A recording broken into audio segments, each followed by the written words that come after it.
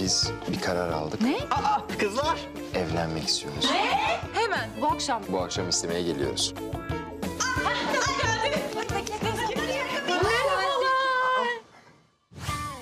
Artık bu evliliğe karşı değil.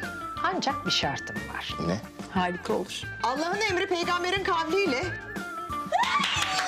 Oğlum Serkan'a kızınız Eda'yı istiyorum. Ben rüya görüyorum değil mi? Bu gerçek değil. Sen yani buraya nasıl geldin? Ve rüya değil. Gerçek. Buradayım. Senden de ayrılmaya hiç niyetim yok.